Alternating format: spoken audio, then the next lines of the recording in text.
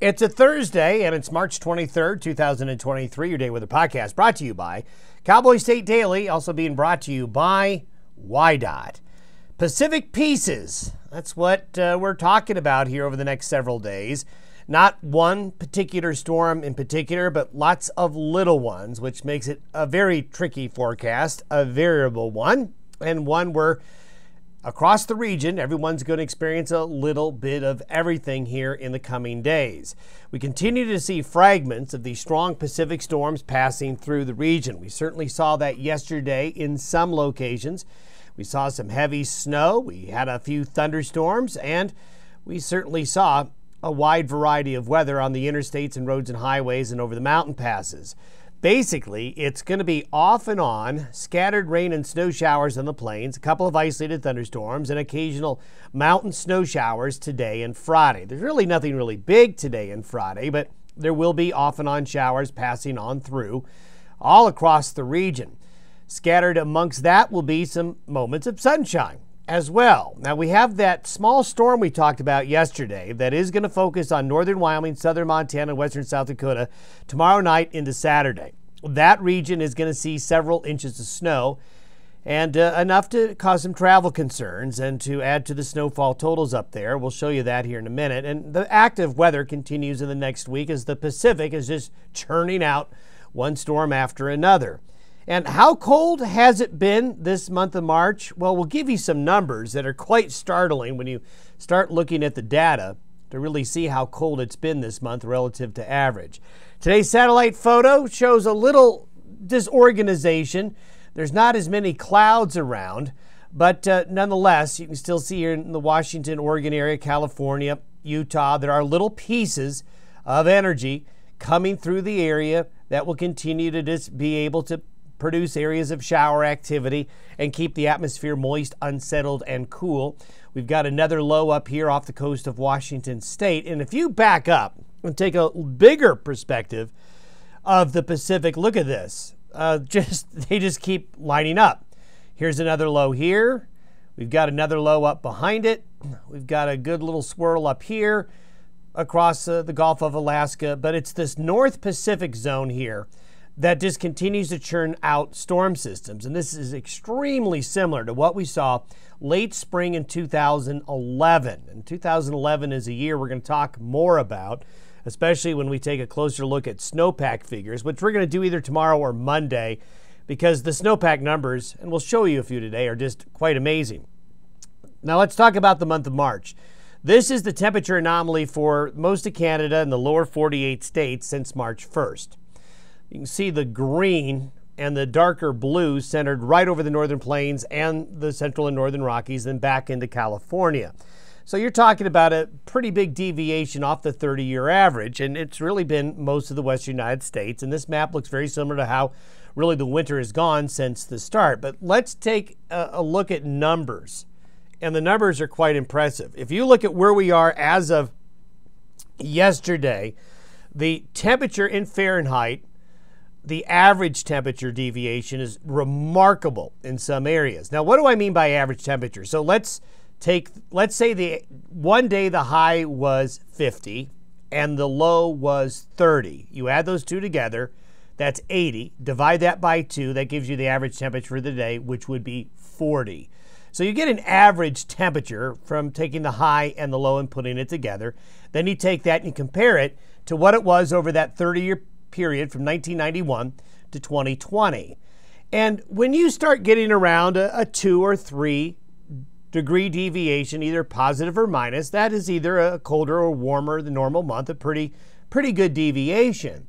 But when you start looking at some of these numbers, especially here on the right side, and especially considering that March is the time of year when your average temperature, especially this time of year, as you get to the end of the month, really begins to change every day, goes up because you're getting closer to the spring season, deeper into it. Look at Riverton and Lander. I mean, Riverton 17 degrees below the average for the month so far, Lander 14. But even these these fours and these and these fives and these sevens and these eights and these tens, I mean these these are remarkably cold temperatures right here from a deviation standpoint. So we'll see where March ends up. I will tell you that, that we're not going to gain any ground here the way the rest of the month is looking. We'll show you that here in a minute. So this is obviously delaying any early snow melt. You know, a lot of people talked about the last three years how the runoff was starting early, which was certainly true. Not this year. That's certainly the case. And this is going to keep a lot of lower elevation snowpack in place late into the season. And this is going to be something we have to watch and monitor because if we're not getting much melting now, and it comes later and the snowpack is far above average, flooding concerns are certainly going to be a problem. Looking at snowpack updates, now this is as of yesterday morning. These numbers are going to go up after yesterday's storm system. But look at all the blue and look at all the green there, especially the light blues and the darker blues to see where these snowpacks are far above average. But really it's quite amazing. Look at Arizona. These snowpacks are amazing. Arizona snowpack near Flagstaff, 470% of average. Look at New Mexico. New Mexico snowpacks are really, really high. Of course, this is all good news. This is water, uh, which is going to be going into lakes and reservoirs, but flooding is something we'll be talking about in the weeks ahead. Okay, here we go with the 500 millibar chart today. We've got this little piece of a low here. The low that actually came through yesterday is minored out up here, but you can see they're all lined up back here across the Gulf of Alaska. Over the next couple of days, this is what the precipitation looks like. Nothing terribly excessively heavy, but these little minor waves will come through, keeping snow showers going in the high country, scattered areas of rain and snow showers and isolated thunderstorms across the plains today, tonight, tomorrow, and tomorrow night. Now, as we get into Friday night and Saturday morning, this low right here, this fragment of the upper level lows pattern is coming in from the Pacific Northwest and tracking this way. And this is going to line up this axis right here of heavier snowfall for the northern counties of Wyoming into maybe parts of the Black Hills and up across southern areas of Montana. So back into Red Lodge, back up into Billings, into Cody, Powell, Greybull, the northern Bighorn Basin areas, and over to Sheridan and Buffalo. Uh, you're you're going to get several inches of a wet spring snow up there with some pretty cold temperatures. So livestock interest and travelers along Interstate 90, you've got some problems as we get into Friday night through Saturday with snow up there. Scattered areas of rain and snow showers will be developing elsewhere. And this axis right here is that low continues to work its way south. And there's what your snowfall is looking like for the region in that Friday night, Saturday time frame.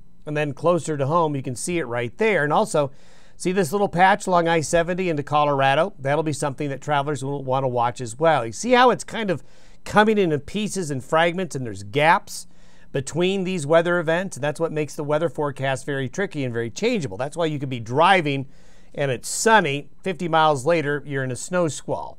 Look at these temperatures for Saturday. This is the temperature anomaly for Saturday afternoon across the interior west. Just really cold air coming in behind this system. And then if you look going forward, this is by Tuesday. There's a little gap right here.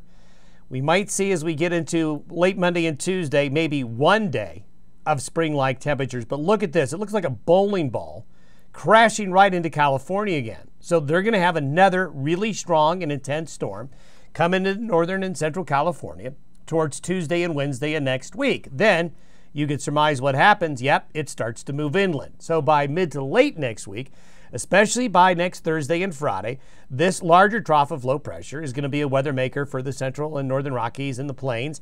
Whether or not it turns into a big storm or a fragmented storm, don't know yet, but the, the overall writing message here is we'll just continue with this very mm-hmm. active and colder than average pattern. The 10 day temperature anomaly, if you add it all up, looks like this. Yes, this takes us all the way into April Fool's Day, the first day of April.